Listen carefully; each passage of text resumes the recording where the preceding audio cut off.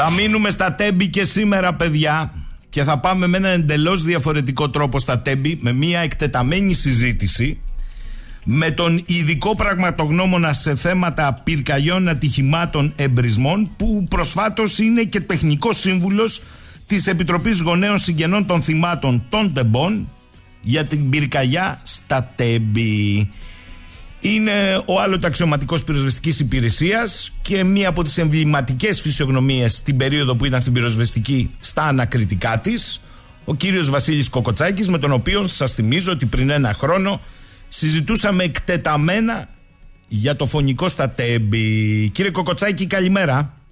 Καλή σας ημέρα, κύριε Σαχίνη, και στους ακροατές σας. Και σε εσάς και ευχαριστούμε πάρα πολύ. Κύριε Κοκοτσάκη, πριν ξεκινήσετε τη συζήτηση, για τη συχνότητα. Θέλω να ακούσετε κι εσείς το τι διεμήθη χθες στην Εξεταστική Επιτροπή μεταξύ ενός βουλευτή του κυρίου Κόκαλη στο ΣΥΡΙΖΑ και του τότε Προέδρου ε, του ΟΣΕ του κυρίου Σπύρου Πατέρα. Μου κάνει εντύπωση που αυτά δεν γίνονται θέματα.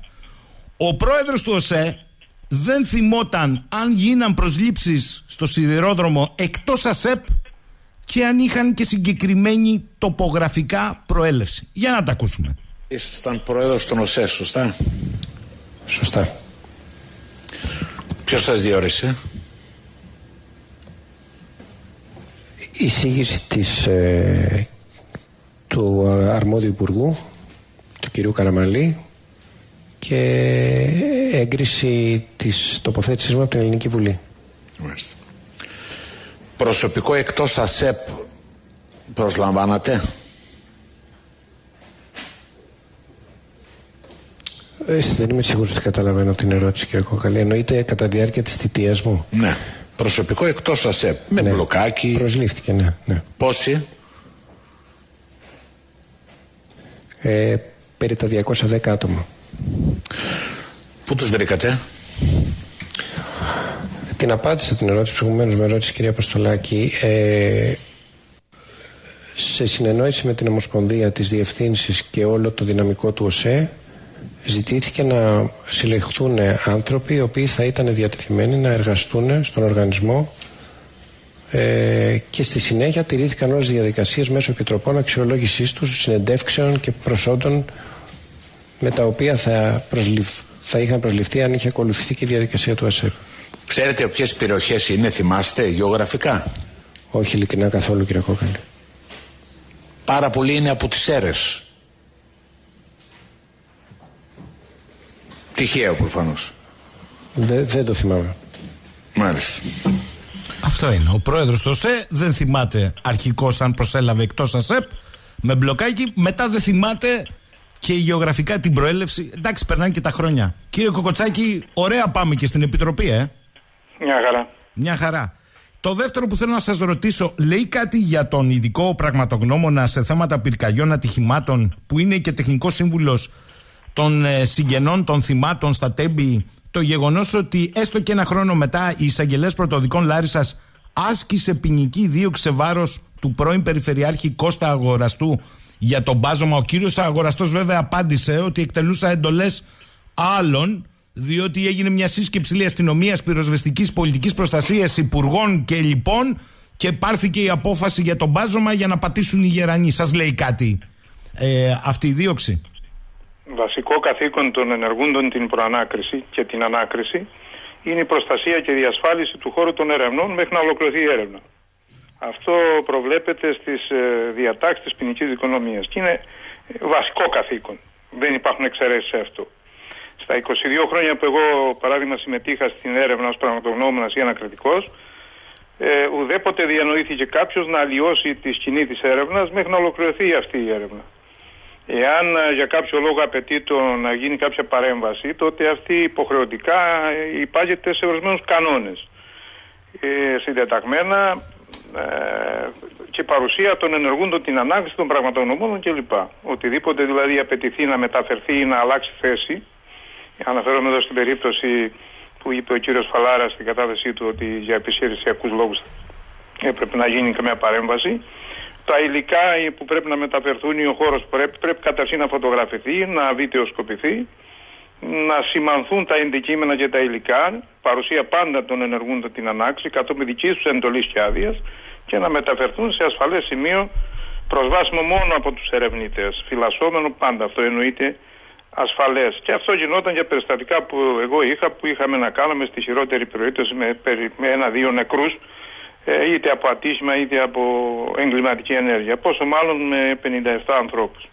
Όσον αφορά την ε, εξέλιξη, είναι μια θετική εξέλιξη με την έννοια ότι κάτι αρχίζει να κινείται, αλλά πάρα πολύ καθυστερημένη.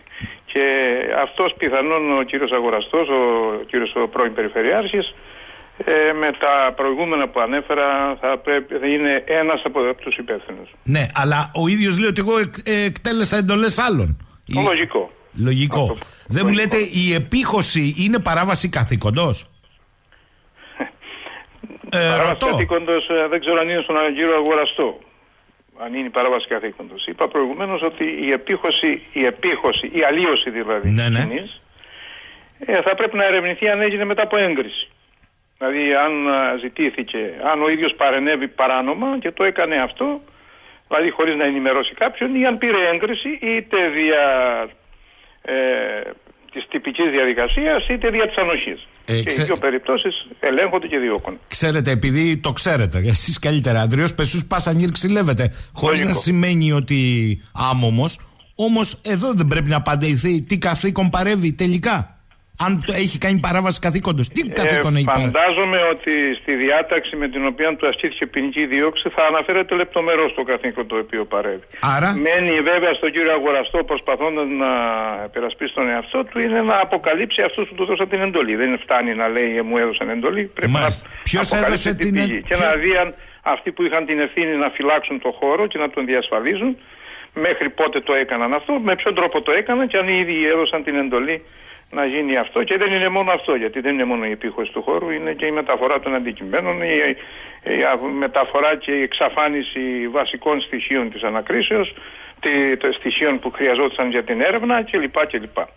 Άρα κύριε Κο- Κοτσάκη, εδώ πρέπει να, αν το έχουν δώσει εντολή, να μας πει ποιος έδωσε την εντολή, ποιος είναι ηθικός αυτούργος. Είναι πλημέλημα ή κακούργημα η αλλίωση ενός συμβάντος τόσο συγκλονιστικού συναισθηματικά αλλά και πρακτικά με 57 επισήμω νεκρούς. Αυτό εξαρτάται πάντα εκ του αποτελέσματος. Δηλαδή, αν αυτό το οποίο επιχείρησε ο άνθρωπος, ο, ο κατηγορούμενος, ο όποιος κατηγορούμενος για το οποίο ασκείται η δίωξη, ε, εκ του αποτελέσματος, δηλαδή αν αυτό το οποίο έκανε το έκανε με τη γνώση του, το έκανε σκόπιμα, το έκανε με τη λογική ότι ήθελε να κρύψει κάτι, το έκανε από αμέλεια και στην εκτέλεση κάποιας εργασίας και εκ του αποτελέσματος αν τελικά αυτό που έκανε δυσκόλεψε ή τελικά ε, ματέωσε κάποια έρευνα ε, ή δεν έγινε αυτή η έρευνα. Άρα εδώ έχουμε προηγή, προηγήθηκε εκχωμάτωση, απομάκρυνση πρωτογενών επιφανειακών στρωμάτων εδάφους με ίχνη του συμβάντος, ακολουθεί η επιχωμάτωση και η επίχωση με την ασφαλτόστρωση. Κάνω λάθος; Αυτό ξεκίνησε σύμφωνα με την κατάθεση του επικεφαλής της πυροδευτικής υπηρεσίας ξεκίνησε με την ανάγκη όπως ο ίδιος λέει της επιχειρησιακής ε, ε, της επιχείρησης για τον απεγκλωβισμό, για την ανάσυρση δηλαδή των, υπο, των απτωμάτων από τις, ε, που ήταν καταπλακωμένα και φυσικά και υπήρχαν τέτοια και υπήρξε ανάγκη τοποθέτησης γερανών για να μπορέσουν να σηκώσουν ε, τα αντικείμενα αυτά.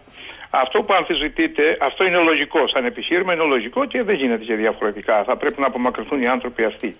Ε, η ένστασή μας σε εμάς είναι ότι ενδεχομένως αυτή η γερανή, και αν δει κανείς το φωτογραφικό υλικό, θα δει ότι υπήρχε κατά τη δική μας γνώμη, μένει μόνο να ερευνηθεί, αλλά δεν ερευνήθηκε. Αν αυτοί οι γερανοί θα μπορούσαν να τοποθετηθούν σε διαφορετικά σημεία από εκείνα τα σημεία. Α, α, ε, υπήρξε όμως και αφαίρεση αντικειμένων ε, από χώρο που οποίο δεν επιχείρησαν τελικά οι Γερανοί και ειδικά, ειδικά αφαιρέθησαν χώματα και κανείς δεν ξέρει που πήγαν αυτά τα υλικά. Ε, είπα προηγουμένως ότι ακόμα και αυτό αν έπρεπε να γίνει, πιθανό να έπρεπε να γίνει, γιατί αφού το λέει ο επικεφαλής πυροδοσίας ότι έπρεπε να σηκωθούν αυτά, θα έπρεπε να γίνει με την έγκριση για την άδεια και την παρουσία των ανακριτικών, με όλη τη διαδικασία που είπαμε προηγουμένως ότι φωτογραφίζεται, βιντεοσκοπείται, αναλύεται και μεταφέρεται σε ένα σημείο για να μπορεί ο ερευνητής να το ερευνήσει. Από ό,τι φαίνεται εδώ δεν μεταφέρθησαν αυτά και δεν έγινε τίποτα από όλα αυτά. Ούτε Είτε πήγαν σε ένα σημείο αφύλακτος, σε μια αποθήκη του ΟΣΕ, σε ένα υπαίθριο χώρο και με, τα, με τις βροχές, με τους αέριδες, με τις θερμοκρασίες αλλοιώθηκε οτιδήποτε θα μπορούσε να ερευνηθεί τα δε χωματουργικά εξαφανίζεται. Μάλιστα. Άρα ακόμη και και... το βάζωμα του χώρου και το τσιμένωμα ε, ε, κρύπτει οτιδήποτε είναι από κάτω. Μάλιστα. Ε, λέει κάποιος και αν σπάσουν ε, ε, το μπαζωμένο χώρο δεν θα βρουν στοιχεία; Όχι βέβαια δεν θα βρουν πια. Καληνύχτα. Ε, άρα μας λέτε κύριε Κοκοτσάκη ότι ακόμη και αν έπρεπε να μετακινηθούν υπήρχε ένα πρωτόκολλο, μια διαδικασία που θα έπρεπε να τηρηθεί η οποία δεν έχει τηρηθεί εδώ. Αυτό μας λέτε. Εγώ προσωπικά εξεγείρομαι με αυτό. Δεν μπορούσα να το διανοηθώ ότι μπορεί να συμβεί σε έναν άνθρωπο που χάθηκαν 57 άνθρωποι ότι υπήρχε αυτός αυτή ο όσον αφορά την, το, τη διαφύλαξη του χώρου, του χώρου. Ε, αυτό που βλέπουμε γιατί μπορεί να έχει γίνει και να μην το ξέρουμε εμείς.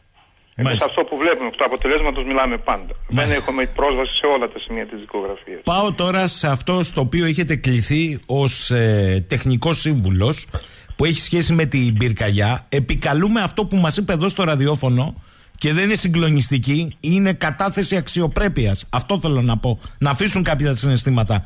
Είναι η αξιοπρεπή στάση ενός ανθρώπου που έχει χάσει άνθρωπό του, αλλά ταυτόχρονα αγωνίζεται για άλλους επιπλέον 56 ανθρώπους που χάθηκαν. Η κυρία Κριστιανού μας είπε ότι από την πρώτη στιγμή η μεγάλη διαπίστωση είναι ότι η ιστορία της φωτιάς δεν έχει απασχολήσει το πόρισμα της Επιτροπής Γεραπετρίτη. Και μάλιστα όταν πήγε στον Άριο Πάγο, της είπαν και για τον μπάζωμα, ο γέγονε, γέγονε, πήγαινε σε καμία εκκλησία να πει κανένα κεράκι και προχώρα τη ζωή σου. Μπορώ να σας αποκαλύψω σήμερα κάτι το οποίο εγώ διαπιστώνω και το οποίο, για το οποίο ίσως μας λύσει κάποιες απορίες. Ε, διαβάζοντας την, ε, κάποιος την παραγγελία την επόμενη μέρα του ατυχήματος του καθήλυνα αρμόδιου τμήματος της τροχέας ε, έδωσε άμεσα την παραγγελία σε τρεις ερευνητές πραγματογνώμονες σωστά σύμφωνα με την ποινική οικονομία για να ερευνήσουν το, το συγκεκριμένο τότε ατύχημα μετά δυστύχημα ή όπως κάποιος το χαρακτηρίζει. Αν κοιτάξεις κάποιος τα ερωτήματα που τους θέτει, από αυτά που σιάζει εντελώς το ερώτημα το πώς προκλήθηκε η φωτιά. Είναι εκπληκτικό. Σε μια περίπτωση που έχουμε 28 ανθρώπου οι οποίοι κάηκαν. Και δεν ξέρουμε ακόμα, δεν είναι να το πούμε και παρακάτω, πώς αυτοί κάηκαν. Κάηκαν πεθαμένοι, κάηκαν ζωντανοί. Δηλαδή απουσιάζει αυτό που έχει συγκινήσει μετά την περίπτωση των θανόντων περισσότερο και έχει προβληματίσει και έχει δώσει τόσες απορίες. Στη συνέχεια υπήρξε μια συμπληρωματική παραγγελία στους ιδίους και από εκεί την συμπληρωματική απουσιάζει και από αυτούς το ερώτημα της, ε, το πώς προκλήθηκε η φωτιά. Παρότι όμως δεν έχουν ερωτηθεί, οι ίδιοι αποφαίνονται αυτό. Σε μια... Μισό, μισό, μισό. Η παραγγελία της τροχέας δεν βάζει ούτε αυτή ερώτημα για τη φωτιά, αλλά την πυρκαγιά. Παρόλα αυτά. Ούτε και η μετέπειτα συμπληρωματική παραγγελία. Μάλιστα, μάλιστα. Δεν υπάρχει ερώτημα τουλάχιστον σε αυτά τα οποία έχουμε εμείς στη διάθεσή μας. Παρ' όλα αυτά, εγώ διαβάζω, έχω μπροστά μου την έκθεση των πραγματογνωμών. Αναφέρομαι στους πραγματογνώμονες οι οποίοι προβλέπεται από την κοινή οικονομία. Για τους άλλους πραγματογνώμονες δεν θα ασχοληθώ. Ήταν μια πολιτική απόφαση, δεν είχαν ερώτημα τέτοιου είδους, ασχολήθηκαν με άλλα θέματα. Ούτε με αυτά ασχολήθηκαν. Τα ακούσαμε προχθές. Ε, να πω κάτι όμως, ε, αυτή σύμφωνα με την νομοθεσία δεν προβλεπόταν. Νομίζω ότι σας το είχα πει και στα μέσα. Ναι, ναι, σωστά. Ε, για άλλους λόγους προφανώς έγινε. Αλλά για τους λόγους που αφορά αυτή καθε αυτή την έρευνα, ο νόμος και η ποινική δικονομία προβλέπει τη διαδικασία και αυτή τηρήθηκε. Η δικαιοσύνη δεν ξέρω αν θέλει τη λαμβάνει υπόψη, αν θέλει δεν τη λαμβάνει. Δεν είναι αποδεικτικό στοιχείο για την Επιτροπή, στην Υπουργική αναφέρομαι. Για την Επιτροπή όμως που διορίστηκε κανονικά κατά νόμο και κατά τύπο, δεν υπήρχε το ερώτημα αυτό, τουλάχιστον βλέπω εδώ, στην, ε, την έχω μπροστά μου και τη διαβάζω, στο, στο πόρισμά τους, στα ερωτήματα που τους θέθησαν, δεν υπάρχει αυτό το ερώτημα. Και στη συμπληρωματική που αναφέρουν δεν υπάρχει. Παρ' όλα αυτά όμως, οι τρεις πραγματογνώμονες αναφέρονται σε μια πολυσέλιδη, πολλές, πάρα πολλές σελίδες. Ογκώδη θα έλεγα ε, εργασία την οποία έκανε. Α, ωραία, έπεσε η γραμμή, ε. Λοιπόν, με μια γέφυρα να ξανά έχουμε τον κύριο Κοκοτσάκη. Είμαστε στο σημείο που λέει ότι η παραγγελία στην Επιτροπή Πραγματογνωμόνων που όρισε η τροχέα, όχι την Υπουργική τώρα αυτή, που πήγε επί τόπου, δεν είχε ερώτημα για την πυρκαγιά. Παρόλα αυτά λέει, εκεί διεκόπη η σύνδεση, παρόλα αυτά η επιτροπή αυτή, οι εμπειρογνωμόνες έχουν μία πολυσέλιδη αναφορά για την πυρκαγιά. Ελάτε κύριε Κοκοτσάκη. Ε, στη συνέχεια έπεσε η γραμμή, ναι. φαντάζομαι να είναι τυχαίο.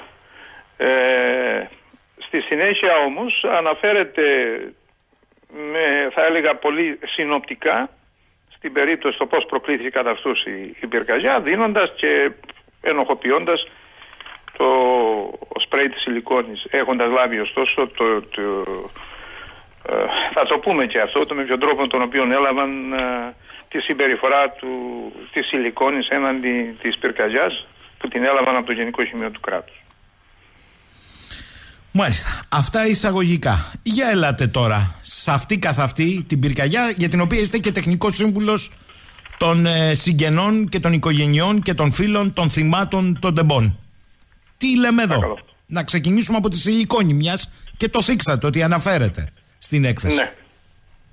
Εγώ προσωπικά τόσο ως πραγματογνώμονας αλλά ε, και ως πυροσβέστης ε, ένα υλικό το οποίο δεν ταξινομείται από άψη επικίνδυνων δεν μπορώ καθόλου να το ερευνήσω διότι ε, έχει τόση χρήση ευρεία στην, ε, στην ε, καθημερινότητα και στατιστικά δεν υπάρχει πουθενά στον κόσμο καταχωρημένο κάποιο περιστατικό με αυτού του είδους το υλικό. Ε, σύμφωνα με τον κανονισμό, τον ευρωπαϊκό κανονισμό, τον 1272 του 2008. Δεν ταξινομείται καν από άψη επικίνδυνοτητα. Αυτό λέει στα στοιχεία επισήμανσή του. Δεν προβλέπεται κανένα μέτρο κατά τη μεταφορά του. Δεν προβλέπεται κανένα μέτρο κατά την αποθήκευσή του. Και η περίπτωση στην οποία μπορεί να προκαλέσει, να, να αντιδράσει σε ενδεχόμενο, σε, γιατί τα πάντα καίγονται, ακόμα και οι πέτρες, σε μια τέτοια περιστατική, πρέπει να έχουμε ιδανικές συνθήκες. Θα πω μόνο το εξής για τους ακροατές, την ιστορία και φαντάζομαι ότι το ξέρουν. Το όλο περιστατικό εξελίχθηκε σε δύο δευτερόλεπτα. Είναι συγκλονιστικό. Δηλαδή, 28 Δευτέρου 23, τη μοιραία μέρα και μοιραία στιγμή, 23 και 21 και 20 δευτερόλεπτα, έχουμε λευκό φως. Τι σημαίνει λευκό φως; Το φως που έχουμε στο σπίτι μας. Λευκό φως. Το καταλαβαίνουμε όλοι, είναι το φως του ηλεκτρικού, είναι η ηλεκτρική εκένωση. Πότε συμβαίνει η ηλεκτρική εκένωση, δεν είναι σπινθύρες, μην μπερδευτούμε, τι σπινθύρες του εκτροχιασμού, είναι η ηλεκτρική εκένωση. Ο ηλεκτροφόρος αγωγός της ηλεκτράμαξας φεύγει από τα 25.000 βόλτα τα οποία είναι τοποθετημένο και πέφτει στο έδαφος. Αυτό γίνεται βία και κάνει μια εκένωση, κάτι σαν αστραπή δηλαδή, η οποία μας δίνει το πρώτο λευκό φως στα 20 δευτερόλεπτα. Το όλο φαινόμενο ολοκληρώνεται στα 18 δευτερόλεπτα. Το όλο φαινόμενο ολοκληρώνεται στα 20 δευτερόλεπτα. Δηλαδή στα 18 έχουμε φως και στη συνέχεια έχουμε τη λάμψη η οποία έχει τη λάμψη της φωτιάς. Κάνει το fireball, ένα κύκλο δηλαδή. Το fireball είναι μπάλα φωτιάς. Για όσοι το καταλαβαίνουν, για όσοι είναι ειδικοί στο χώρο, αντιλαμβάνονται ότι έχουμε ένα, ε, μια μπάλα, στο, στο εσωτερικό της έχει καύση και στο εξωτερικό της έχει άκαυστο υλικό, το οποίο οθούμενο εσωτερικά ως πύραυλος επειδή καίγεται και σπρώχνει προς τα έξω, ανέρχεται προς τα πάνω. Όταν αυτό εκλείψει, δηλαδή ανεβαίνει όσο υπάρχει κάτι να καίει. Τον εαυτό του δηλαδή καίει αυτή η μπάλα. Μια φλεγόμενη μπάλα. Κέντρο φωτιάς, άκαψο στο εξωτερικό, εκρηκτικό όμως όσο υπάρχει να καίει τότε ανέρχεται. Όταν εκλείψει σβήνει. Και πότε σβήνει, όταν δεν έχει τίποτα άλλο να κάψει. Αντιλαμβάνεστε ότι το ε, 7, τόνοι, 7 τόνοι που ήταν κατά δήλωση των υπευθύνων ε, το, η σιλικόνη δεν μπορεί να αναχθεί σε θερμοκρασία ε, αναφλέξεως που υπερβαίνει τους 400 βαθμούς μέσα σε 2 δευτερόλεπτα 7 τόνοι να σπάσει, να διασυθεί, να μπει, να κάνει κρυφτικό μείγμα και να φτάσει σε ιδανικές συνθήκες και να γεμίσει και ο χώρος έλαιος υλικών γιατί σε όλα τα δείγματα και στα 25 πριν το σημείο του κράτους υπάρχει έλαιος υλικών και τώρα και εκεί να πάνε να ξανασκάψουν πάλι, πάλι έλαιος υλικών ενώ που σημαίνει ότι ένα κομμάτι επιλέχθηκε να εξατμιστεί και το άλλο δεν εξατμίστηκε. Άρα ε, ψάχνουμε για ένα υλικό το οποίο όλος τυχαίως βρέθηκε στα περισσότερα των δειγμάτων. διαβάσαμε και ακούσαμε όλοι για το ξυλόλιο. Μισό λεπτό, πριν πάτε εκεί. Άρα η σιλικόνη για εσά, στην οποία έχουν επικεντρωθεί μετά την ανάλυση του χημείου του κράτους, που δεν είναι μόνο αυτό, ε, είναι ο λάθος δρόμος. Να το πω έτσι. Ε, τις περισσότερες φορές στην έρευνα πρέπει να ψάχνουμε αυτό που δεν φαίνεται. Μάλιστα. Αυτό που φαίνεται δεν είναι πάντα η αλήθεια. Το δεύτερο που θέλω να πω και εσείς το γνωρίζετε, αλλά αν το γνωρίζουν και οι ακροατές, είναι ότι μας έστειλε ένα βίντεο από το Houston, το Texas, ο καθηγητής εκεί προηγμένων μαθηματικών, ο κύριος Μανώλης Δασκαλάκης, στο βίντεο που μας έστειλε, μας λέει ότι έκανε μια ειδική επεξεργασία διότι διαπίστωσε ότι το βίντεο που παίξαν όλοι από τη σύγκρουση δεν είναι το αυθεντικό της κάμερας ασφαλείας, αλλά αυτό που μοιράστηκε από τη δημόσια τηλεόραση σε όλα τα κανάλια. Το οποίο είναι πειραγμένο. Μάλιστα. Και αυτό φαίνεται, λέει ο κύριος Δασκαλάκης, από την ανάλυση που έκανε, από το μέγεθος του αρχείου. Το βίντεο λοιπόν, που ο ίδιος επεξεργάστηκε, θα σας φανεί περίεργο, έκανε μια ειδική επεξεργασία σε αυτό που έπαιξε η ΕΡΤ και την έκανε, λέει, όχι για αισθητικούς λόγους, αλλά για να μπορέσει να δει τι προκάλεσε η θερμική έκρηξη μετά τη σύγκρουση. Όταν δούμε τη στιγμή της έκρηξης από τη μέση του βίντεο και μετά, φαίνεται ότι υπάρχει μια πρώτη έκρηξη ηλεκτρική καθαρά και το καταλαβαίνουμε από τον μπλε που κυριαρχεί και αμέσως μετά στον ίδιο χώρο βλέπετε μια σχετικά μικρή φλόγα. Μετά γίνεται η πρώτη μεγάλη θερμική έκρηξη. Γιατί είναι θερμική, λέει ο κ. Δασκαλάκης. Μας το δείχνει το χρώμα που κυριαρχεί το κόκκινο. Η λάμψη της είναι έντονη και σφαιρική, μικραίνει λίγο και μετά μεγαλώνει και στη συνέχεια ίσως ξαναμεγαλώνει και τελικά εκτονώνεται.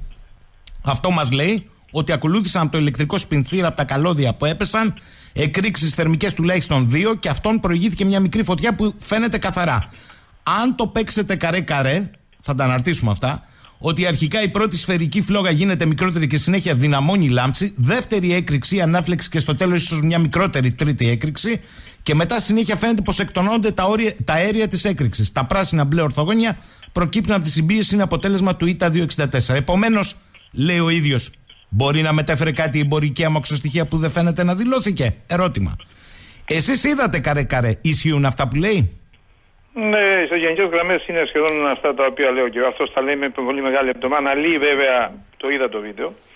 Αναλύει τις. Ε, φανταστείτε ότι οι χρόνοι εδώ είναι κλασματικοί. Οι χρόνοι στου οποίου γίνονται, για να καταλαβαίνουν οι ακροατές σας.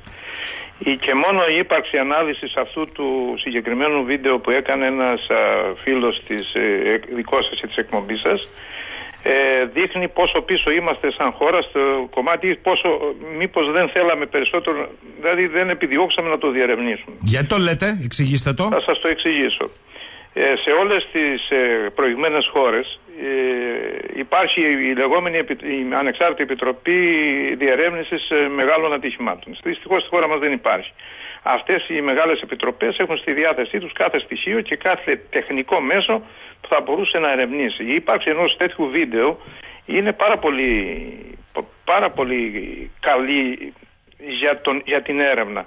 Να σε φανταστεί μόνο, ε, είπα και χθες κάπου ότι ε, με, ένα, με ένα τηλεφακό ψάχνουμε ένα αστέρι 4 εκατομμύρια ε, έτη φωτός μακριά και από το φως το οποίο βλέπουμε καταλαμβανόμαστε τι αέριο υπάρχει στην επιφάνειά του. Φανταστείτε λοιπόν ένα βίντεο το οποίο έχουμε και είναι γήινο, με γήινους χρόνους, ένα, μια πολύ καλή επεξεργασία που θα μπορούσε να γίνει, όπως είπε και ο, mm. ο, ακροατής σας, θα μπορούσε να μας δώσει απαντήσεις από το χρώμα και μόνο των, ε, των υλικών το οποίο καίγονται. Εγώ εμπειρικά και μακροσκοπικά, χωρίς να έχω κάνει καμία ανάλυση, έχω ήδη χωρίς να έχω καμία ανάλυση, πει αυτά τα οποία τα λέω και τα λέω και με την ε, δύναμη του όρκου που έχω δώσει στην τέχνη και την επιστήμη μου, αλλά και με την εμπειρία την οποία έχω. Και γι' αυτό αποκλείω την περίπτωση του, της σιλικόνης. Ε, της, της και ε, αναδεικνύω αυτό το οποίο σε όλη μου τη ζωή σπούδασα και σε όλη μου τη ζωή έζησα. Είμαι κοντά σε αυτό που είπε ο κ. Δασκαλάκης, μένει μόνο να διερευνήσουμε ποιο είναι το υλικό. Μάλιστα. Και μπορούμε εύκολα να το δούμε και να το εξετάσουμε για να δούμε πόσο συμμετείχε διαβάζοντας τις εκθέσεις του Γενικού Σημείου του Κράτους. Άρα, μένει να μάθουμε τι χρώμα έχει για παράδειγμα το ξυλόλιο, το βενζόλιο, το τολουόλιο και όμενα; Θα ήθελα να πω εδώ ότι οποιοδήποτε πόρισμα των πραγματονομώνων σε αυτές τις μεγάλες επιτροπές μπαίνει στον εξομοιωτή, στον προσωμιωτή ή εξομοιωτή αν θέλετε και αν δεν επιβεβαιωθεί απορρίπτεται. Μάλιστα. Ε, αυτό το κυκλικό χρώμα και έτσι θα πάω σε μια διακοπή της έκρηξης, το μπλε, σας προβληματίζει; Γιατί μου γράφατε εδώ στις παρατηρήσεις σας ότι είναι χρώμα του κειμένου υγραερίου. Κοιτάξτε. Όσον αφορά το κέντρο, είναι το, χρόνο, το χρώμα της καύσης. Το αντιλαμβανόμαστε όλοι. Το άκαυτο μέρος, το ηρίζον δηλαδή, δείχνει το χρώμα το οποίο κάνουν τα υγρά καύσιμα εξαερούμενα συμπεριλαμβανομένων και των αερίων. Γιατί ξέρετε ότι η βενζίνη ποτέ δεν καίγεται ως βενζίνη και έχονται αέρια, η ατμή της βενζίνης. Δηλαδή, ε, ε, όταν το αέριο που προέρχεται από υγρό πιεσμένο καίγεται, παρουσιάζει αυτό το φαινόμενο. Υπάρχουν κάθε αέριο το οποίο καίγεται στο υλικό του χρώμα. Άρα είναι πάρα πολύ εύκολα αναλύωμενα σε βάθος αυτά τα βίντεο που εγώ δεν έχω την τεχνική ε, δυνατότητα θα μπορούσαν να μας δώσουν κατά προσέγγιση το υλικό. Και όταν έχουμε και ενδείξεις, έχω μάλλον στοιχεία μέσω των ε, δειγμάτων τα οποία ελήφθησαν ένα μήνα μετά και δείχνει την παρουσία υλικών που καιόμενα έχουν τέτοιες συμπεριφορές όπως εκρι, εκρι, αναφλεξιμότητος και εκρηκτικότητος, δηλαδή βγαίνοντας στον αέρα αποτελούν εκρηκτικό μείγμα, κάτι που δεν κάνει το ξυλόλιο, το ξυλόλιο, το, η σιλικόνη, αν είναι δυνατόν. Έχουμε υλικά τα οποία τα ψάξαμε και τα βρήκαμε έσω και εκ των υστέρων. Υπάρχουν στα δείγματα, τα οποία ερχόμενα σε επαφή με τον αέρα παρουσιάζουν, γίνονται εκρηκτικά δεν εξετάστηκαν καθόλου. Μα καθόλου από την Επιτροπή των Πραγματογνώμων. Ασχολήθηκε μόνο θα το δούμε... με αυτό το οποίο όντως υπήρξε στα 25 Μάλιστα. δείγματα. Θα το και δούμε... καλώς το εξέδωσε, αλλά έπρεπε να εξετάσει τα υπόλοιπα. Θα το δούμε μετά διακοπή. Σας λέω όμως ότι εδώ ο Νικόλας μου στέλνει μια έκθεση τώρα που συντάσσεται για την περίπτωση μεταφοράς επικίνδυνων φορτίων και λέει πως αυτή αναφέρει πως το λάδι σιλικόνης είναι έφλεκτο σε υψηλές θερμοκρασίες. Συγκεκριμένα γίνεται η αναφορά στο flash point που είναι η θερμοκρασία, όπου ένα υγρό παράγει ατμούς οι οποίοι μπορούν να αναφλεγούν. Η θερμοκρασία αυτή είναι 250 βαθμού Κελσίου ή μεγαλύτερη. Οι θερμοκρασίες λέει μια ηλεκτρική εκένωση ανάγονται σε χιλιάδες βαθμούς Κελσίου. Ναι, μπορώ να του πω το σημείο ανάφλεξης της σιλικόνης, ε, το σπρέι, το σπρέι, όχι της σιλικόνης, το σπρέι της σιλικόνης. Δηλαδή το, η σιλικόνη που έχει γίνει ατμός. Ναι. Είναι 295. Της δε αυτανάφλεξη είναι 460. Μπορώ να του πω όμως τους βενζολίου είναι το μείον 55. Σε καμία όμως από τις ενδείξεις παρατηρήσεις, εγώ διαβάζω τον κανονισμό 1272 της Ευρωπαϊκής Ένωσης, αυτός που ισχύει κατά τη μεταφορά. Κανένα μέτρο. Κανένα μέτρο. Αντίθετα όμως, ερευνούμε για αυτήν, και καλά κάνουμε και ερευνούμε, αλλά την ίδια ώρα έχουμε την παρουσία άλλων υλικών τα οποία δεν δικαιολογούνται να είναι εκεί. Λοιπόν, Ένας κρα... υλικών δικαιολογείται. Κρα... Γιατί κρατήστε... είναι ναι, ναι, ναι. μέρος κίνησης του τρένου. Αυτά για τη σιλικόνη κύριε Κοκοτσάκη. Όμως δεν ελήφθη υπόψη μέχρι στιγμής από όσο γνωρίζουμε η ύπαρξη και άλλων επικίνδυνων υλικών που ανοιχνεύτηκαν στο δυστύχημα. Σωστά; Ναι. Αξίζει εδώ να πούμε ότι βλέπω, βλέπω εγώ ότι η παρέμβαση του Γενικού Σημείου του κράτους έγινε μετά από έγγραφο της πυροσβεστικής υπηρεσίας, η οποία θα έλεγα ότι εδώ δεν έχει αρμοδιότητα για την ανάκριση. Δηλαδή αν κάνει κάτι πρέπει να λάβει παραγγελία να το κάνει, διότι την ανάκριση έχει αναλάβει καταρχήν το τμήμα και στη συνέχεια ο κ. Αγγελέας. Ε, Ω αρμόδια πυροσβεστική υπηρεσίας δεν ασχολήθηκε με αυτό διότι είχε αναλάβει άλλη υπηρεσία. Όμως μπορούσαν να της αναθέσουν κάποια καθήκοντα να κάνει. Στις 16 λοιπόν του Μάρτη, αν δεν κάνω λάθος, η πυροσβεστική υπηρεσία ζητάει από το Γενικό Σημείο του Κράτους να λάβει δείγματα. Περίεργο, αλλά γίνεται. Στη συνέχεια λοιπόν ε, το Γενικό Σημείο του Κράτους με ακούτε; Ναι, ναι, βεβαίως, εσάς ακούμε. Το Γενικό Σημείο του Κράτους έβγαλε τις εκθέσεις. Στι εκθέσεις αυτές, τις οποίες ανοιχνεύει σε όλα τα δείγματα, νομίζω 25 δείγματα, ανοιχνεύει σε όλα τα δείγματα το έλεος σιλικόνης. Σε όλα, στα περισσότερα όμως των δειγμάτων, σας διαβάζω ένα ταυτοποιητή παρουσία κυκλικών και μη κυκλικών μεθυλοεξανίων, ισχομερών, ξυλολίου, εθυλοεξανόλης, εθυλο κλπ. Βενζόλιο, ένα, βενζόλιο 4, μεθύλιο, βενζόλιο, βενζόλιο. Δηλαδή σε όλες, σε μία υπάρχει ένδειξη ξυλολίου, στην άλλη υπάρχει, σε όλες τις άλλες βενζόλιο, ε, βενζόλιο και σε μία από αυτές το λουλόλιο. Τι είναι αυτά; Και τα τρία είναι κοινοί διαλύτες. Είπαμε ότι ερευνάται μόνο η περίπτωση του ελαίου σιλικόνης, το, του οποίου η παρουσία είναι συναφές με το δυστύσμα, διότι το έλαιο σιλικόνης αποτελεί ε, συστατικό των μετασχηματιστών των, της ηλεκτράμαξης. Δεν ερευνάται.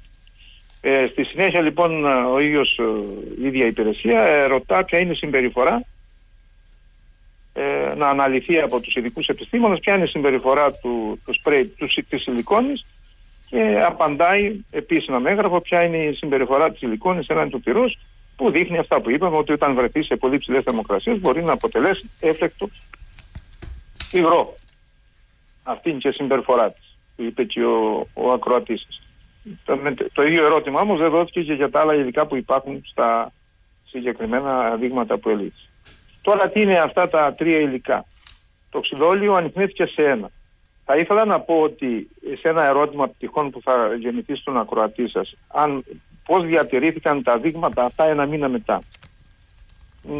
Θα έλεγα ότι η παρουσία, η παρουσία του ελαίου σιλικόνης, αυτό θα είναι ίσως θα ακούσετε πρώτη φορά, η παρουσία του ελαίου σιλικόνης προστάτευσε την ε, παρουσία, τη διαφύλαξη λοιπόν σε εμάς τους ερευνητές μετά από ένα μήνα την παρουσία του ξυλολίου, του τουλολίου και του βενζολίου, διότι ε, κατά παράδοξο τρόπο το ξυλόλιο αλλά και το βενζόλιο διαλύουν τα ελαία, άρα συντηρούνται μαζί. Ε, ανακατεύτηκε λοιπόν το ένα με το άλλο και έτσι διατηρήθηκε στο... Ως διαλύτες, ως διαλύτες λοιπόν της σιλικόνης συντηρήθηκαν και, και αυτοί. Πιθανόν αν ερευνηθεί το έδαφος ακόμα ίσως υπάρχουν ακόμα μαζί με το λάδι. Και ίσως το μόνο υλικό το οποίο τελικά, το υλικό το οποίο τελικά δεν κάηκε, το ξυλόλιο δηλαδή, το τολουόλιο και το βενζόλιο που δεν κάηκαν, γιατί προλαβαίνω τους ακροατές που θα πούμε, είναι δυνατόν αυτά, σαν έβλεπε με μείον 55 θερμοκρασία, θα έπρεπε πώς υπάρχουν δείγματα και δεν κάηκαν στην ατμόσφαιρα αυτά που σώθηκαν, σώθηκαν επειδή ακριβώς ανακατεύτηκαν με το. Ένα σημικό θα μπορούσε να μας το βεβαιώσει άλλο, μας έδινε και την απάντηση γιατί δεν ήταν, το... γιατί δεν ήταν τα σπρέι σιλικόνης αυτά που άνοιξαν. Γιατί αυτά ακριβώς προστάτευσαν τα δείγματα τα οποία βρήκαμε σήμερα. Το έλαιο σιλικόνης που δεν κάει. Δεν μου λέτε κύριε Κοκοτσάκη, μισό λεπτό, πέρα από την ανάλυση. Δελτία αποστολής, φόρτωσης, τιμολόγια δεν είχαν τα τρένα, το τι κουβαλούσαν. Δηλαδή πρέπει να αναλύσουμε το χώμα, τη σιλικόνη και τους διαλύτες της για να βγάλουμε συμπέρασμα. Είναι απορία μου αυτή. Και εμένα και πολύ, πολύ κόσμο δηλαδή. Έτσι, το απλό λέω αν ε, αποτελούσαν, ε, σίγουρα, σίγουρα θα έχουν ερευνηθεί όλα αυτά. Αλλά όλα ξεκινάνε από τον πραγματογνώμονα, ο οποίος ε, ανακαλύπτει ένα υλικό το οποίο προκάλεσε τη φωτιά. Μάλιστα. Όταν, όταν ο πραγματογνώμονας λέει ότι η φωτιά την προκάλεσε το έλαιο σιλικόνης, άρα η σιλικόνη ήταν φυσική παρουσία μέσα στα τρένα, δεν έχουμε κάτι να διερευνήσουμε. Αν όμως ε, ερευνούσαμε το βενζόλιο παράδειγμα Μάλιστα. ή το τουλολεόλιο, τα οποία είναι κρυκτικά και με το που έρχονται σε επαφή με τον ατμόσφαιρο. Επίσης, ένα άλλο περιστατικό το οποίο θα μπορούσαμε και εκεί να αναλύσουμε είναι ο μυστηριώδης τραυματισμός των, των τεσσάρων πυροδοστών. Αυτά τα εγκάβματα λέτε; Φυσικά, χημικά εγκάβματα είπαν οι γιατροί οι οποίοι τους εξέτασαν. Χημικά εγκάβματα. Λοιπόν, Μάλιστα. Νομίζω ότι έχω, έχω την εξέτασή τους. Χημικό έγκαμα τρίτου βαθμού, καρπού και άκρα χειρός.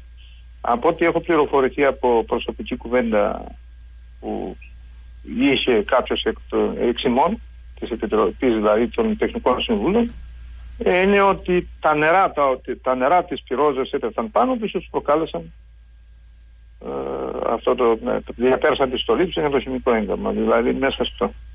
Ενισχύει αυτό που σας έλεγα προηγουμένως, ότι το βενζόλιο, το λολιόλιο κλπ. ήταν ανακατεμένα με το έλαιο της σιλικόνης, το οποίο ε, με το νερό το οποίο πέφτει και το μεταφέρει, πέφτει πάνω στις στολές και προφανώς αυτή είναι η δική μου εκδοχή προκάλεσε χωρίς χημικό έγκαμα, δηλαδή δεν έρθει σε επαφή με φωτιά, με ένα υλικό το οποίο το μεταφέρει το νερό. Αυτό τους προκάλεσε τα, τα χημικά εγκάματα. Και αν θα δούμε την ανάλυση τόσο του βενζολίου όσο και του ξυλολίου, θα έλεγα μόνο για το ξυλόλιο για να το ακροατέ σα ότι έχει 150 εξα, ε, ε, ε, πώς το λένε αυτά που έχουμε στη βενζίνη, ε, οκτάνια. Οκτάνια, οκτάνια. Ναι, και η, η ικανότητα της βενζίνης, λέμε η πολύ καλή βενζίνη, έχει 99 οχτάνια και είναι πάρα πολύ ακριβή. Θα έλεγα ενδεικτικά ότι το, το ξυλόλιο έχει 150 οχτάνια.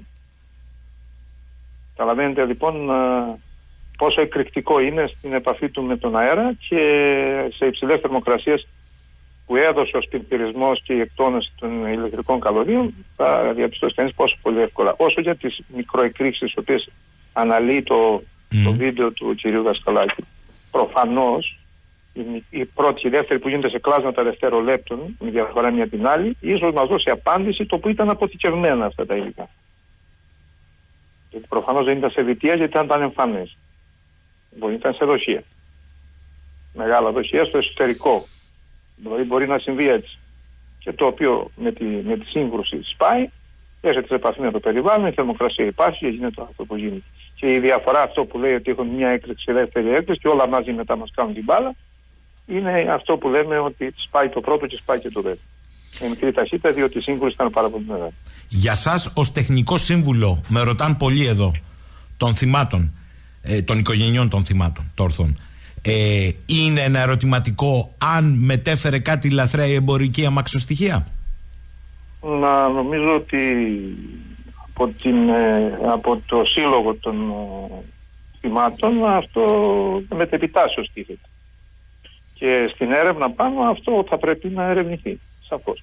Μάλιστα. Αλλά είπα όλα, όλα ξεκινάνε από τη λάθος τοποθέτηση. Δεν μου λέτε, Όταν το, η- το ξυλόλιο χρησιμοποιείται στην οθεία καυσίμων, σωστά; Οι Ηνωμένες Πολιτείες είναι η πρώτη χώρα παραγωγής και των τριών υλικών που είναι Μάλιστα. εκπληκτικό το ότι βρέθηκαν και τα τρία υλικά που, νόθ- που χρησιμοποιούνται για την οθεία των καυσίμων. Μάλιστα. Το δε, βεν- το δε βενζόλιο μπορεί και από μόνο του να χρησιμοποιηθεί. Δηλαδή έχει παρατηρηθεί πολλές φορές με δυνάδικα στην Ελλάδα ε, έχουν συλληφθεί να, αντί για βενζίνη να χρησιμοποιούν ξυλό, ε, βενζόλιο, μόνο το βενζόλιο, το οποίο είναι 99 οκτανίων. Δηλαδή είναι, ε, είναι ένα υλικό το οποίο ενώ δίνει ενέργεια στο αυτοκίνητο είναι πάρα πολύ φθηνό. Η παραγωγός τώρα οι ΗΠΑ βγάζει εκατομμύρια τόνους το χρόνο και ακούγεται, γιατί δεν θέλω να δυσφημίζω και χώρες, ότι η χώρα η οποία κάνει τη μεγαλύτερη νότηση καυσίμων είναι η Βουλγαρία. Ακούγεται στην Ελλάδα. Μάλιστα. Τώρα, μας είπατε ότι τελικώς από ό,τι αντιλαμβανόμαστε εδώ πέρα οι πραγματογνώμονες που ενήρισαν εκ των υστέρων και χωρίς να έχουν τη δυνατότητα επιτόπου έρευνας δεν έλαβαν υπόψη τους τις εκθέσεις του Γενικού Χημείου για την ύπαρξη βενζολίου, ξυλολίου, του λοολίου ισχυροί διαλύτες είπαμε και βασικά στοιχεία για νοθεία βενζίνης ε, γνωμάτευσαν λοιπόν για την εν λόγω έκρηξη ότι οφείλεται σε ανάφλεξη των ελαίων σιλικόνης 7,5 τόνων που είχαν οι τρεις μετασχηματιστές των μηχανών της επιβατικής και εμπορικής αμαξοστοιχίας δηλώνοντας άγνοια για τα αίτια της. Και μάλιστα στο συμπέρασμα αυτό ήλθαν να συμφωνήσουν και οι δύο προανακριτικοί πάλι πυροσβεστικοί στην έκθεση απλής αυτοψίας που είναι ασυνήθιστο στην πρακτική. Η απλή αυτοψία είναι αποδεικτικό στοιχείο. Όχι. Όχι. Το, το λέει και η λέξη, είναι απλή. Μάλιστα. Στα, όπως κατατάσσονται τα αποδεικτικά στοιχεία, η πραγματογνωμοσύνη είναι στα αποδεικτικά στοιχεία. Η απλή αυτοσία είναι σε ενδείξει. Δηλαδή είναι ένα βοηθητικό εργαλείο προς τον ενεργόντα την προανάκριση ή την ανάκριση, ανακριτικό υπάλληλο ή δικαστικό.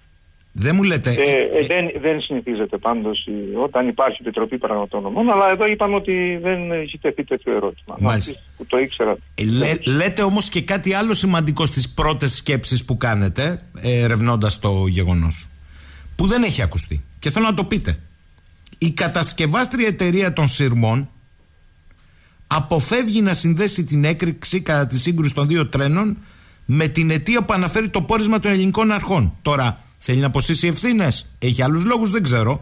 Η κατασκευάστρια εταιρεία είναι η Siemens. Σωστά; Σωστά. Μάλιστα. Τι λέει η εταιρεία, Κοιτάξτε, ε, ξέρετε πολύ καλά ότι ο ερευνώντας ένα, ένα μεγάλο ατύχημα, ας πούμε αεροπλάνο, πλοίο, τρένο, εάν υπάρχει και μόνο η υπόνοια ότι κατασκευαστικά ή λειτουργικά τα μέσα αυτά μεταφέρουν κόσμο, ε, έχουν κάποιο λειτουργικό πρόβλημα, θα προ- γίνεται αμέσως διακοπή όλων των τρένων, όχι μόνο στη χώρα την οποία έγινε το ατύχημα, αλλά σε όλες τις χώρες μέχρι να ερευνηθεί και να αξιολογηθεί αυτό το έργο και να δει κατά πόσο συμμετείχε ή όχι σε αυτό το περιστατικό.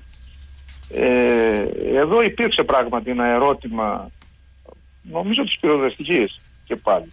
Νομίζω, δεν, είμαι, σι- δεν θυμάμαι σίγουρα, προς την ε, Siemens, μπορεί και να κάνω λάθος του ανακριτή, δεν ξέρω. αλλά Η εν πάση δικαστική περιπτώσει, λειτουργή της Λάρισας στι 11 Οκτωβρίου. Του 23 έστειλαν επιστολή στην εταιρεία, την κατασκευάστρια.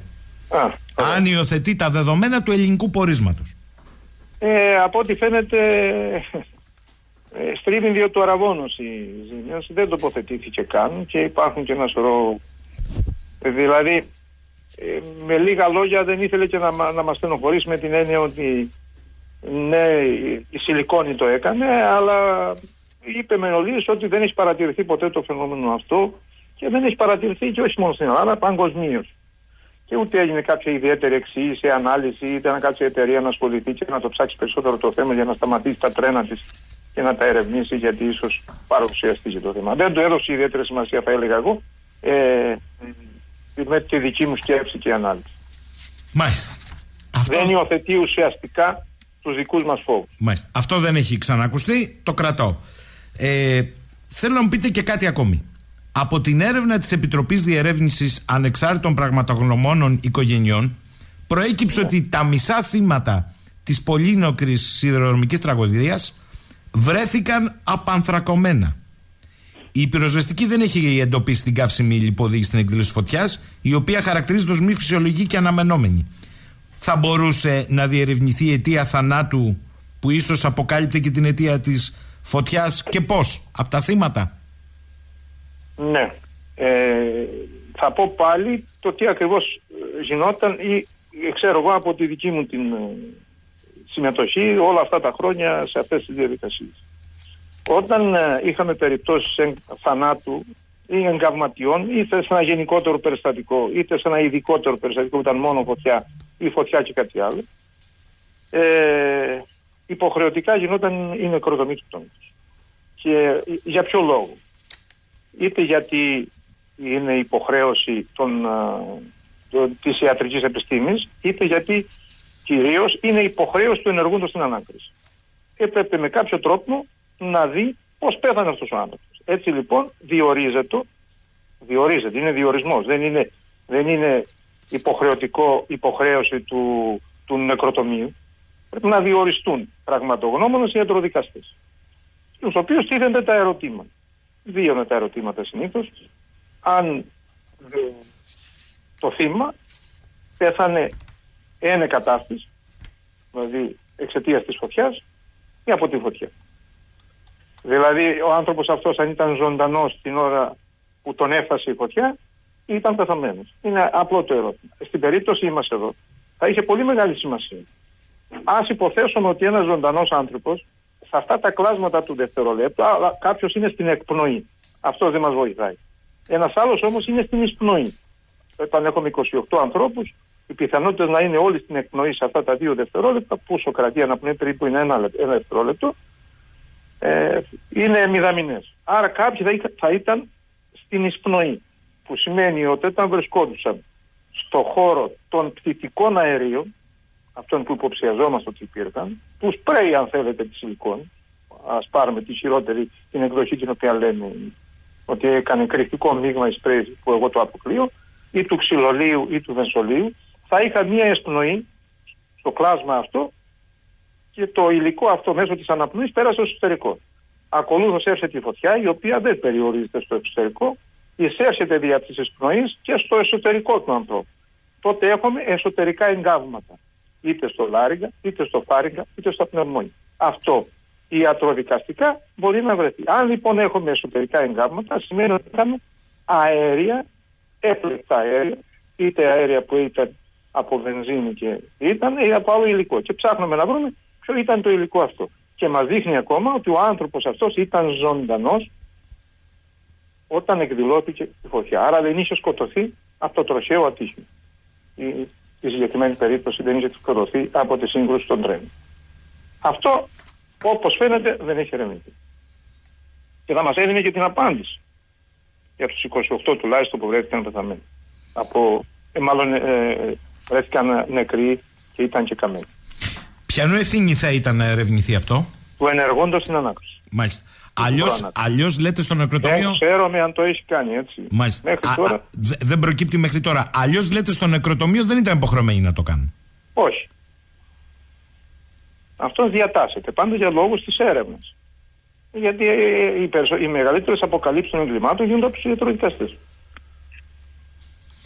Παγκοσμίως. Υπάρχει περίπτωση να γίνει αεροπορικό ατύχημα για τους λάτρε των ακροατών που παρακολουθούν τις ανάλογες εκπομπές και να γίνει νεκροτομή των τομάτων. Όλοι ξέρουν ότι έπεσαν με. Μάλιστα. Μάλιστα. Έπεσε όχι, αεροπλάνο, όλοι το ξέρουν. Όχι, ε, εγώ τα ρωτώ στοιχειοδός για να, να μην μείνει τίποτα ε, ως υπόλοιπο και σκοτεινό. Άρα, Εγώ ως εκπρόσωπος τεχνικός σύμβουλος λέω ότι, τι πρέπει να γίνει και τι κατά τη γνώμη μας είναι η, παρα... αυτά τα οποία έπρεπε να γίνουν και δεν έχουν γίνει ή τουλάχιστον δεν τα έχουμε δει να έχουν γίνει. Άρα λέτε ότι για εσά ήταν κρίσιμο να γίνει νεκροτομή εγκαυματιών θυμάτων. Μα αυτά που λέω είναι προφανές. Θα μπορούσαμε να δούμε αν κάποιοι άνθρωποι βρέθηκαν, γιατί δεν μπορούσε να μπει φωτιά διαφορετικά, αν δεν είχε εισπνεύσει φυτικά αέρια, δεν θα μπορούσε να μπει φωτιά στο εσωτερικό, ακόμα και αν ανέπνε φωτιά. Δεν μπαίνει. Η φωτιά μπαίνει μέσα μόνο όταν έχει να κάψει κάτι στο λαιμό και στο στόμα. Φυσιολογικά δεν θα μπει, ακόμα και αν τη βάλεις μόνο. Ναι, αλλά όλα όσα περιγράφετε μέχρι τώρα, κύριε Κοκοτσάκη, με συγχωρείτε, με οδηγούν στο συμπέρασμα, συμπέρασμα, μπορεί να είναι αυθαίρετο, ότι στην προδικασία έχουν γίνει πάρα πάρα πολλά λάθη και πάρα πάρα πολλά κενά. Το ένα δεν έγινε, το άλλο δεν έγινε. Τα άλλα υλικά δεν τα ψάξαμε, μας κάλυψε μόνο η σιλικόνη. Ε, νεκροτομή δεν κάναμε. Νομίζω ότι οι εντολείς μου το φωνάζουν σε όλους τους τόμου ε, όπου και αν βρεθούν. Και η κυρία που αναφέρατε προηγουμένως στη Βουλή το είπε και οι εκπρόσωποι τους καθημερινά το εντοπίζουν διότι είναι το προφανές. Ε, λένε κάποιοι εδώ, κύριε Κοκοτσάκη, μπορεί η σιλικόνη, όχι, δε, εγώ λέω όχι, εσείς θα μας πείτε, μπορεί η σιλικόνη να είχε ακριβώς αυτό το λόγο, να προστατεύσει τη λαθρέα μεταφορά των άλλων υλικών; Όχι, παιδιά, η σιλικόνη ήταν στους μετασχηματιστές των δύο τρένων που κινούνται. Μην μπερδεύεστε. Είναι αδύνατο. Το είπα, είπα εδώ και μην παραξηγηθώ. Ότι η διασπορά του ελαίου της σιλικόνης προστάτευσε, επειδή διαλύεται, αναμε... το ένα διαλύει το άλλο, προστάτευσε τα δείγματα και γι' αυτό βρέθησαν και ένα μήνα μετά και πιστεύω ότι στο υπέγραφο εκεί που έχει σκεπαστεί μπορεί να βρεθεί ακόμα. Το βενζόλιο, το ξυλόλιο και το δολίο. Ε... Έχει, έχει αυτή την ιδιότητα αυτά τα υλικά να ανακατεύονται με το λάδι και να διατηρούνται. Αφού το λάδι είναι πιο ασφαλές να τα διατηρήσει. Αλλιώς θα είχαν εξαερωθεί στην ατμόσφαιρα, θα καεί. Δεν μου λέτε, κύριε Κοκοτσάκη, εκ των υστέρων, τώρα που, που οι συγγενείς των θυμάτων για τις διάφορες υποκατηγορίες αυτούς της τραγωδίας εγκλήματος έχουν τεχνικούς συμβούλου, όπως έχουν εσάς για την πυρκαγιά. Έχετε κληθεί από αρμόδιες αρχές ή έχουν ληφθεί υπόψη αυτές οι παρατηρήσεις που κάνετε; Ε, να κληθούμε όχι δεν είναι συμβατό με την έννοια ότι Μάλιστα. είμαστε τεχνικοί σύμβουλοι των, ε, θα έλεγα δεν είναι αντίπαλοι ακριβώς. Ε, εάν χρειαστούν όμως να πάρουν πληροφορίες από εμάς, μπορούν, μπορούν να το κάνουν με την ολοκλήρωση της ανάκρισης. Μάλιστα. Μπορούν να το κάνουν. Ε, σας, ε, έχετε δει να γίνεται μια προσπάθεια να στραφούν οι έρευνες και προς αυτά που επισημαίνετε; Όχι. Όχι. Με κάποιο έτσι θα έλεγα εμφανή τρόπο, ίσως όμως εμέσως, ε, κανείς δεν το ξέρει, μπορεί οι έχοντες την ανάξη και οι δικαστικοί να φαντάζομαι ότι ακούν και διαβάζουν και να κάνουν και τι αιτίε ερωτήσεις σε σχετικές έρευνες. Μάλιστα. Κάτι όμως συγκεκριμένο να έχω να σας πω, όχι. Πάντως, μέχρι στιγμής, με εξαίρεση την έρευνα για τη σιλικόνη, για τα υπόλοιπα υλικά, δεν σας προκύπτει ότι έχουν ψαχτεί καν, όχι ενδελεχώς καν. Δεν, δεν θα έλεγα ότι έγινε καμία έρευνα για τη σιλικόνη, γιατί αν έγινε έρευνα για τη σιλικόνη, σίγουρα θα την απόρριπταν ως ενδεχόμενο. Υπήρξε μια απλή αναφορά, υπήρξε μια ανάλυση, ερωτήθηκε το σημείο εκεί να ερωτηθεί ποια είναι η ανάλυση. Κάντε μας μια ανάλυση της σιλικόνη όταν βρεθεί σε περιβάλλον τέτοιου είδους. Δηλαδή, μιλάμε για τεράστια θερμοκρασία. Και το λάδι, το ελαιόλαδο να πάρει κάτω. Το ελαιόλαδο, α αφήσουμε τη σιλικόνη.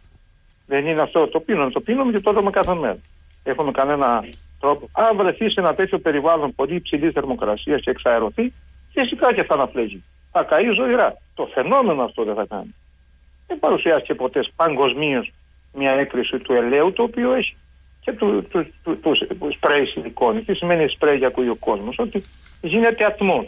Ατμοποιείται. Και όταν ατμοποιείται, αναφλέγεται πιο εύκολα. Γιατί είναι λογικό ότι από το ένα μόριο, τον ατμό, το ένα μόριο του ατμού πάει πιο εύκολα η καύση στο άλλο αλλά δεν κάνει, δεν έχει εκρηκτική διάθεση. Δεν ανακατευόμενο τον αέρα προκαλεί. Και μιλάμε για δύο δευτερόλεπτα 7 τόνου. Στα δύο αυτά δευτερόλεπτα 7 τόνου, αν αφαιρέσουμε και ένα κομμάτι δευτερολέπτων και ένα δέκατο και το άλλο δέκατο της εκτόνου, μιλάμε για ένα δευτερόλεπτο. Ενώ το άλλο υλικό που είναι, το, το βρήκαμε, γιατί αν δεν το βρίσκαμε, από δεν το βρήκαμε. Το βρήκαμε όμως, πρέπει να το ερευνήσουμε. Και δεν το κάναμε στο βαθμό που θα έπρεπε να το κάνουμε. Κύριε Κοκοτσάκη, πρώτο τελευταίο ερώτημα. Σας κούρασα λίγο σήμερα, αλλά έχει εξαιρετικό ενδιαφέρον. Ε, αν δεν κάνω λάθος, σύμφωνα με τη διάταξη του άρθρου 251, παράγραφος 1 του κώδικα ποινικής δικονομίας του 19, οι ανακριτικές αρχές, οι ανακριτικοί υπάλληλοι που έχουν οριστεί από την πολιτεία για τη συλλογή των στοιχείων προς βεβαίωση εγκλήματος και δράστη, οφείλουν χωρίς χρονοτριβή, αυτό λέει το άρθρο, να συγκεντρώνουν πληροφορίες για το έγκλημα και τους υπέτειους του, να εξετάζουν μάρτυρες και κατηγορούμενους, να μεταβαίνουν επιτόπου για ενέργεια αυτοψίας, αφού πάρουν μαζί τους, αν υπάρχει ανάγκη, ιατροδικαστές ή άλλους πραγματογνώμονες, να διεξάγουν ερευνές, να καταλαμβάνουν πιστήρια και γενικά να ενεργούν οτιδήποτε είναι αναγκαίο για τη συλλογή και τη διατήρηση των, διατήρηση των αποδείξεων καθώς και για την εξασφάλιση των ιχνών του εγκλήματος. Τι έγινε από όλα αυτά; Ε, Δυστυχώς εδώ διαπιστώνουμε ότι υπάρχουν προβλήματα σε σχέση με τη συλλογή και τη διατήρηση των αποδείξεων. Ε, δεν χρειάζεται να το πω εγώ δηλαδή. Είναι εμφανέ. Αν δει κάποιος που διατηρούνται τα κομμάτια αυτά του τρένου, τα οποία μέχρι να ολοκληρωθεί η διαδικασία αποτελούν πιστήρια. Στην απλότερη των περιπτώσεων. Να μην την πάμε ότι εδώ έγινε κάτι σκόπιμα και στο, στο, ακόμα και απλή αμέλεια να είναι. Και σε αυτή την περίοδο να διατηρηθούν μέχρι την ολοκλήρωση, μέχρι να υπάρξει μια διάταξη ε, εισαγγελική, δικαστική που να λέει ότι απελευθερώνονται πλέον. Όπως από ένα ακίνητο μέχρι οτιδήποτε άλλο. Όλα αυτά, σε όλα αυτά όμως όπως διαπιστώνεται και δεν το λέμε μόνο εμείς, το λέει και η έκθεση του ε, από την Ευρώπη δηλαδή η δικαστική εξέλιξη που έχουμε και από εκεί δείχνει ότι κάτι δεν κάναμε καλά. Στη συλλογή και τη διατήρηση των αποδείξεων ή των στοιχείων που διαγραφούνται να διερευνήσουν οι πραγματογνωμίε δεν είναι μόνο οι πραγματογνωμίε που διορίζει η πολιτεία. Και οι αντίδικοι έχουν και αυτοί δικαιώματα. Και πρέπει και σε αυτούς να έχουμε αποδείξει συνεχώ να δείξουμε. Όταν δεν τις διατηρήσουν, πώς θα τις δείξουν. Είχαμε κανένα, τίποτα ανάγκη να κρύψουμε, δεν ξέρω. Στο διατάφτα με τα μέχρι στιγμής δεδομένα, το τονίζω αυτό, με τα μέχρι στιγμής δεδομένα, πού οδηγείστε, είστε τεχνικός σύμβουλος, πού οδηγείστε; Κοιτάξτε, σας έχω πει και άλλη φορά ότι εμείς ε, ε, εγώ κάποιοι άλλοι συνάδελφοί μου έχουν πάει και στο πεδίο.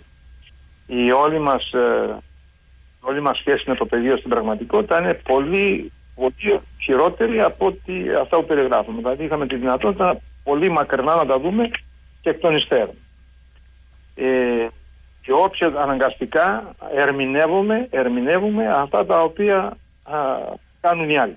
Και εκεί διαπιστώνουμε τις παραλήψεις της Η δική μου η άποψη προσωπική προσωπική επιστημονική θα έλεγα ή εμπειρική είναι ότι ε, έγινε η, ότι κάποιο υλικό έφλεκτο, εκρηκτικό ερχόμενος σε επαφή με τον αέρα είχε το σπινθήρα προκάλεσε αυτό το οποίο προκάλεσε. Από εκεί και πέρα είναι θέμα των ερευνητών να ερευνήσουν όχι δώσουμε τη φορτωτική να δούμε τι κρατικουβαλά, γιατί αν κάποιος κουβαλάει ένα τέτοιο υλικό σίγουρα ε, δεν το παίρνει με φορτωτική να δούμε αν ενισχυθεί αυτή η εκδοχή την οποία εγώ λέω. Πάντως ε, και μόνο το περιστατικό ότι 28 άνθρωποι, 57 πέθαναν και 28 ε, κάηκαν από τη φωτιά θα έπρεπε να μας ε, κάνει να δώσουμε μεγαλύτερη σημασία από ό,τι έδωσαν φίλοι και συνάδελφοι πραγματογνώμονες το πώς προήλθε αυτή η συγκεκριμένη Κύριε Κοκοτσάκη, θέλω να σας ευχαριστήσω για αυτή την αναλυτική συζήτηση σήμερα, πρωί Τετάρτη. Θα τα ξαναπούμε, είναι προφανές. Καλή σας ημέρα. Εγώ σας ευχαριστώ και εγώ σας ευχαριστώ να είστε καλά.